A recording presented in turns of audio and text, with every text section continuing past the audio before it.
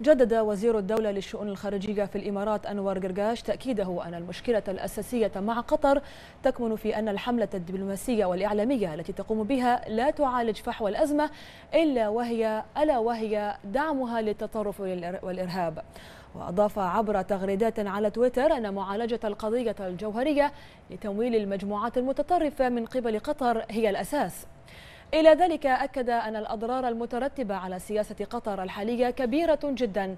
فالصلة مع المجموعات الإرهابية والمتطرفين أمر لا يمكن على الإطلاق فهمه وأضاف أنه حان الوقت لتغيير هذا النهج.